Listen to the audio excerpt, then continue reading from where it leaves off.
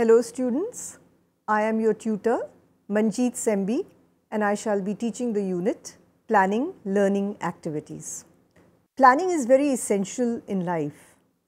An organized planning always plays a vital role in the execution of any task or activity in our life.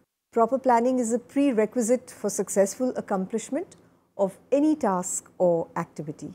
When any teaching learning activity or instructional work is planned in an organized and systematic way and executed accordingly, it brings improvement in learner performance, thereby proving the efficiency and effectiveness of the teacher.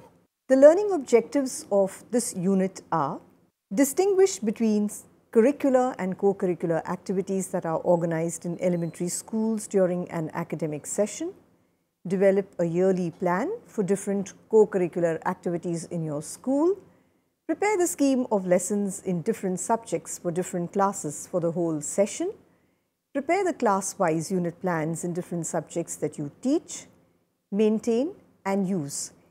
Daily lesson note or diary in your teaching subjects. As a teacher, you deal with the academic and instructional work in your institution. As a teacher, your main concern is teaching, conduct of examination, evaluation, remediation, etc. Both teaching and related instructional work that facilitate the intellectual development of the students. You are also responsible for the conduct of non-academic activities for the overall development of students' personality. Let us do a small activity.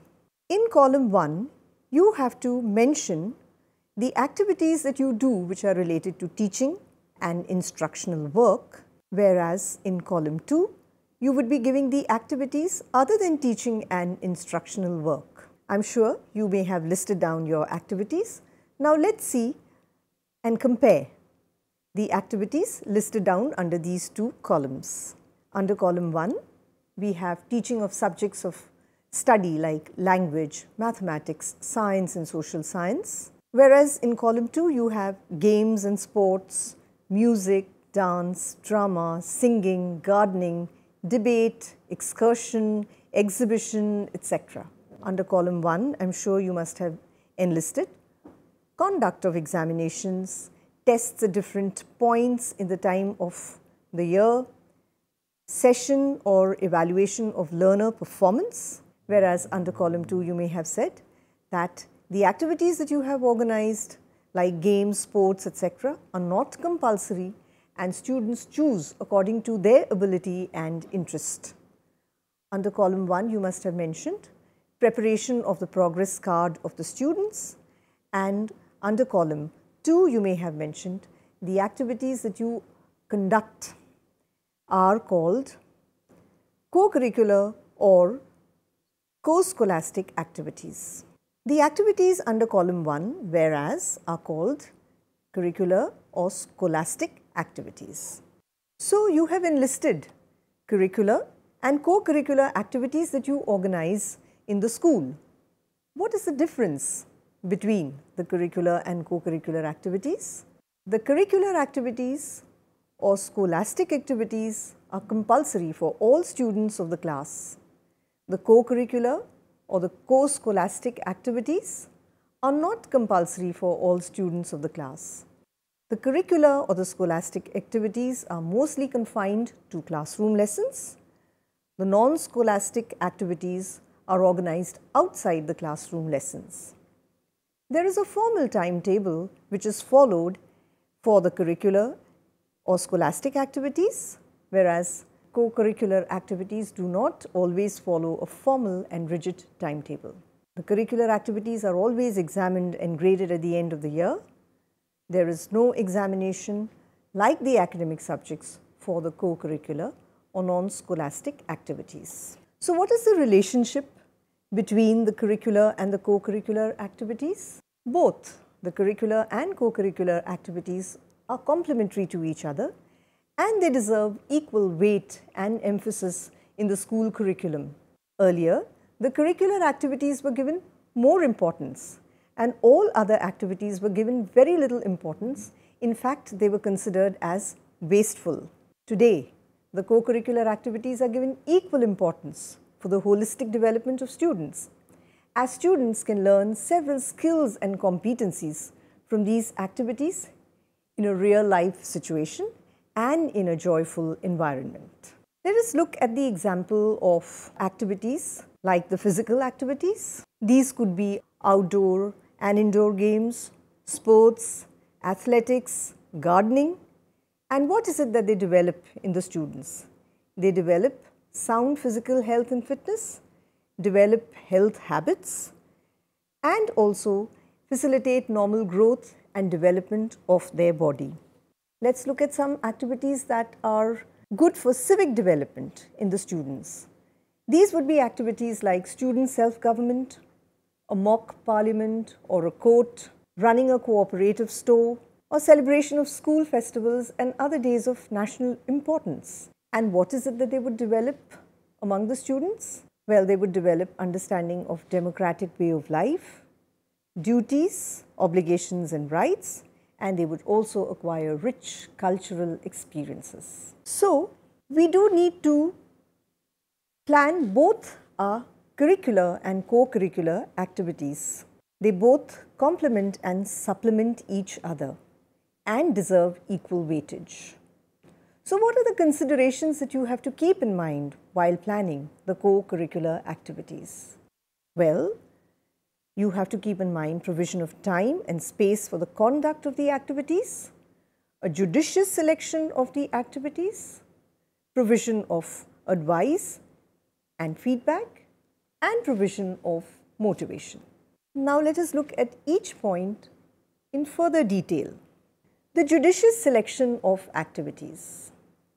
While organizing the co-curricular activities in the school, the activities should be reasonably large in number so that they cater to the interest and ability of most of the students.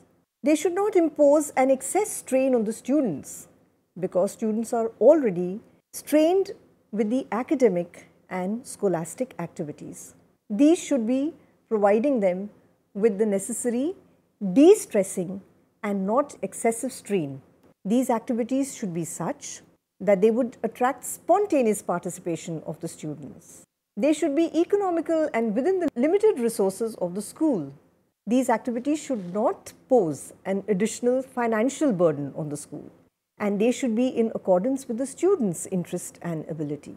Something that would appeal to the child where he would himself or herself want to learn it. Let us look at the next point provision of time and space for conduct of the activities.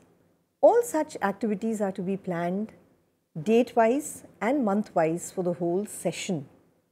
So, the school should be able to slate out time. Separate rooms may be allotted and used for conduct of the indoor activities. Activities like carom, chess or any other activities that are conducted within the school premises. There may be certain activities like sports, swimming, uh, camps for certain sports which may be conducted outside in the open space nearby in the school if there is absence of adequate space. And in case the school does not have its own playground, maybe permission from the civic authorities can also be sought for the same. Provision for motivation. When you want to motivate your students to participate in these activities, it is necessary that you display a long list of activities for the knowledge of all the students. And these activities should be listed out on the school information board or on a website wherever it gets maximum publicity. This is to invite the interest of the students and help them choose for participation in specific activities. The students need to be encouraged and motivated and teachers should pose as advisors and facilitators. The function and mode of organization of each activity should be well spelt out to motivate the students. Students should know what is it that they would gain by learning a particular skill or competence through that activity. It would make more sense for them and motivate them in the process. Provision of advice or feedback. Each teacher in the school needs to be put in charge of any particular activity of his or her interest.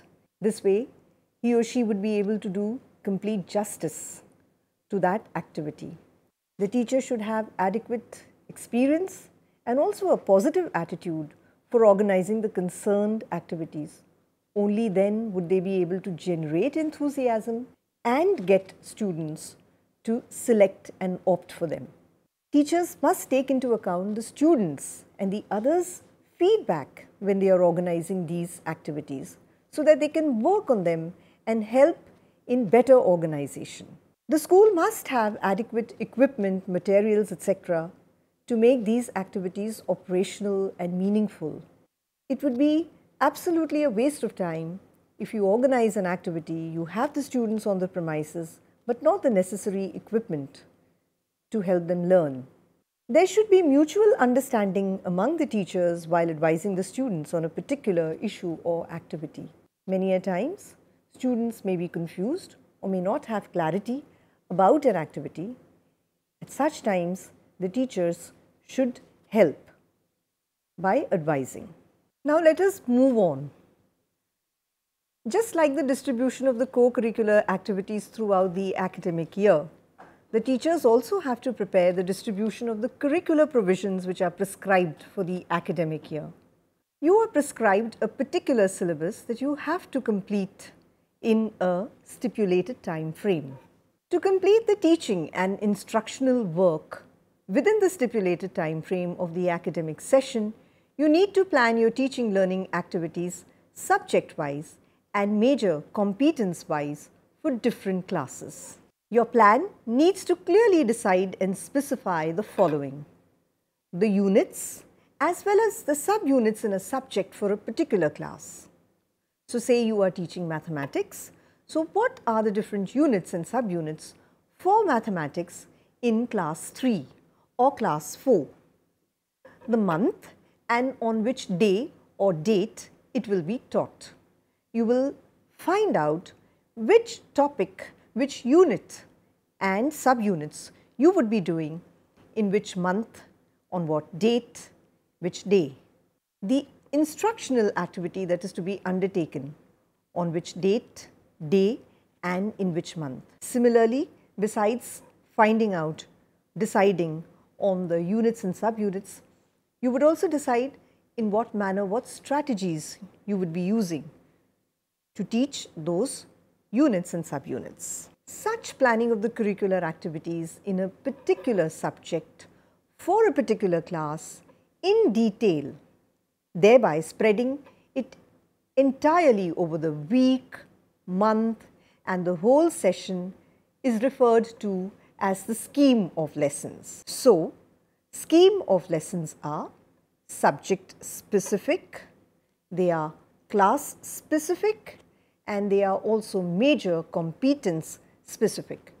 For example, in the subject of English, you would be saying in which class you are doing it and what are the competencies that you would be developing in the students. Speaking, listening, writing, etc. Now the question that comes to our mind is, what is a syllabus and what is a scheme of lessons? So let us look at the difference between syllabus and scheme of lessons. The syllabus of a subject systematically prescribes the course contents to be taught, the course objectives, teaching methods, evaluation strategies and other related instructional work to be undertaken during the whole session. Whereas the scheme of lessons operationalize this process of teaching and instructional activities of the concerned subject and class during the whole session to accomplish the prescribed syllabus. What is the need and purpose of scheme of lessons? The main purpose of preparing the scheme of lessons is to facilitate timely and successful completion of teaching and learning of the prescribed course contents and the effective conduct of related instructional activities prescribed for the whole session. So thus very economically you would be able to make use of the time that is available to you and complete the entire prescribed contents of the syllabus in that stipulated period of time. What are the types of scheme of lessons that you would be preparing? We have the monthly scheme of lessons and we also have the yearly scheme of lessons. Let us look how a monthly scheme of lessons is prepared. It is prepared considering the number of working days that are available in a month, the number of periods that are devoted in a month to teaching and instructional activities of the subject concerned, apart from the other days that would be utilized for maybe a picnic or a field visit, etc. The content load and the importance of the prescribed units of the subject. So, how is the monthly scheme of lessons made? If we look at it stepwise, in the first step you study the syllabus and you enlist the units and the subunits of your subject. Then you determine the periods that you would require for each unit. You spread over the units to be taught sequentially and month-wise. Thus, you would be deciding in one month how much of content of your subject you would be teaching and on which day of a given month. This is a format. This is how a monthly scheme that you would prepare look like.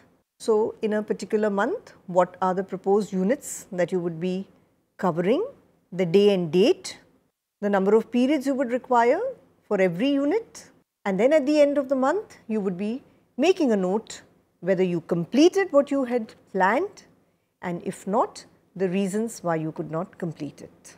Let's look at the yearly scheme of lessons. The yearly scheme of lessons is a composite scheme of the monthly scheme of lessons. How is the yearly scheme of lessons made? Now, you would be looking at the total number of periods which are available during the year and then you would take out the total number of periods which are required to complete the teaching. You would also decide the quantum of the course contents.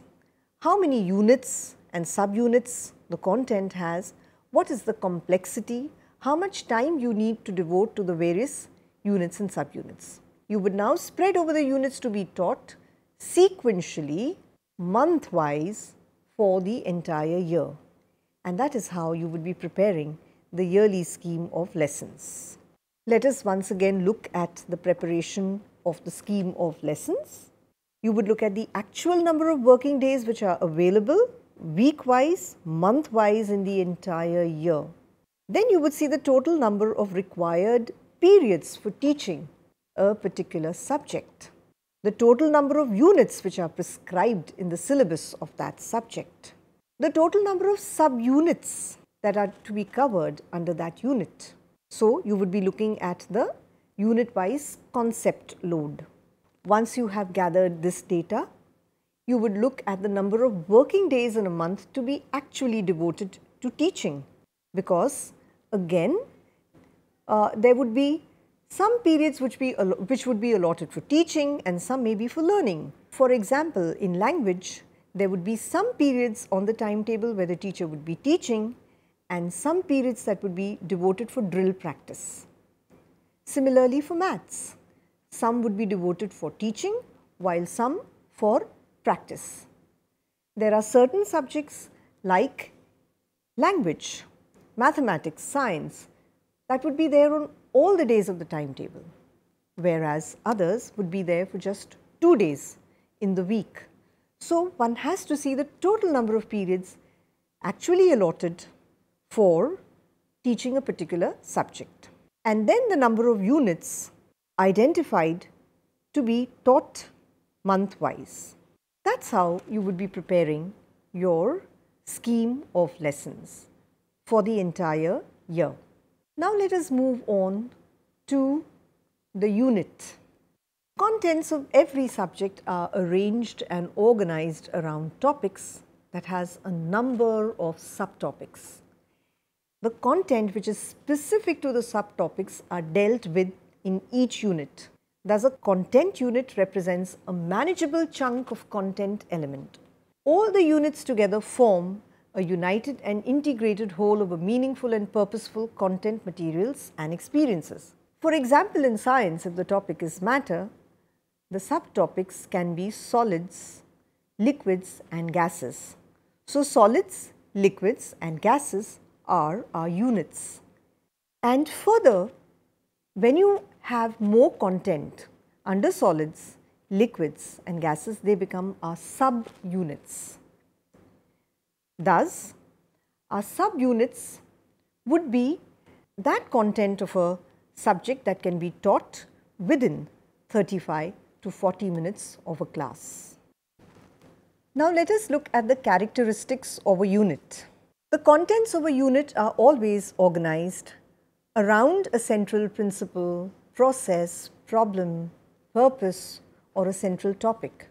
For instance, you may have the units like mineral resource of India, forest resources of India, around the topic of natural resources of India.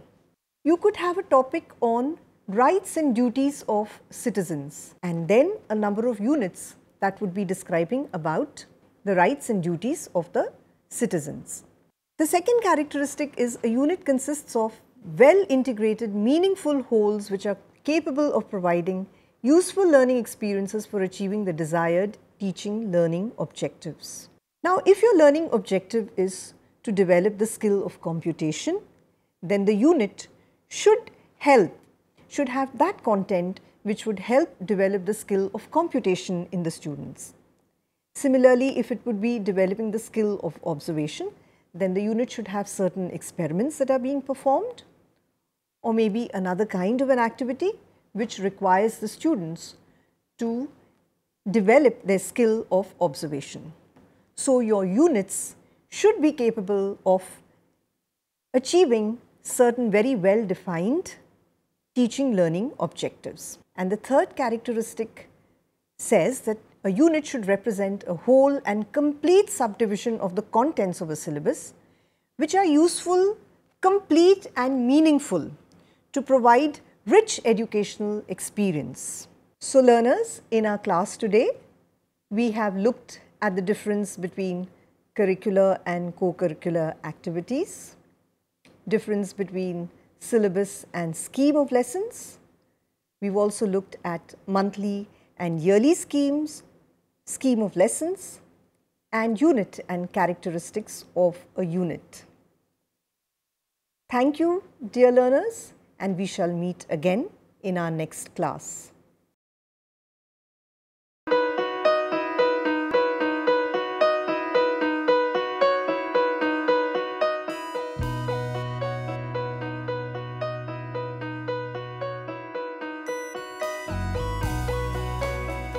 पच्चीस साल का लंबा सफ़र और लाखों लोगों के चेहरों पर खेलती मुस्कान।